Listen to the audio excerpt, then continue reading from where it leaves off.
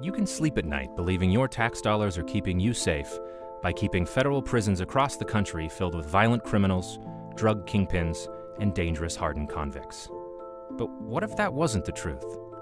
What if the truth actually kept you up at night? What if the truth was that federal prisons are not filled with violent criminals, but that 87% of all federal inmates are in for nonviolent offenses, and that half of all federal prisoners are there for drugs?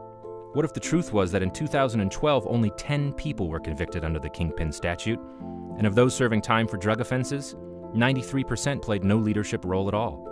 And what if the truth was that you, the American taxpayer, are paying billions of dollars each year to lock up mostly small time, nonviolent offenders, and this is threatening you and your family's safety? Could you still sleep at night? The truth is, since the creation of lengthy mandatory minimum drug sentences in the 1980s, the federal prison population has exploded by over 800%. Every dollar spent locking up nonviolent offenders for too long is a dollar that can't be spent on law enforcement, investigating violent crimes, and victim services. The truth is, you won't be as safe as you think you are until we have the kind of sentencing reform that will save you money and make us all safer. Now's not the time to sleep.